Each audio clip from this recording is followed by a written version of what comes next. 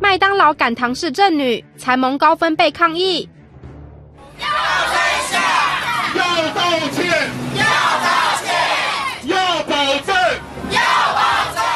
大声喊口号，手举抗议标语。昨天，身心障碍团体发动五十多位糖宝宝前往台北麦当劳总公司前抗议。因为他们不满上周五麦当劳高雄右昌店报警赶走王姓唐氏镇女子，事后道歉又没诚意，身心障碍团体要求麦当劳公开当天录影带还原真相，并要求麦当劳总经理公开道歉，更要保证未来不会有类似歧视行为发生。麦当劳仅派出公关协理出面，麦当劳绝对没有不会有歧视、差别待遇、歧视弱势。针对这个事情，我想很明确的是，我们餐厅这个个案在现场处理是有不妥当的地方，让王女士有不愉快的用餐经验。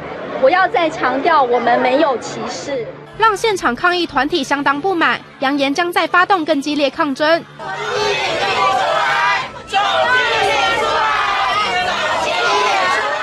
我们没有看到麦当劳有任何直接的表示，他们对他们的道歉都是透过媒体的。总经理出来！总经理出来！除了抗争行动外，唐氏症关爱者协会也写信给国际唐氏症联盟、美国唐氏症团体回信，认为台湾麦当劳歧视的行为相当可耻。动新闻快点道歉报道。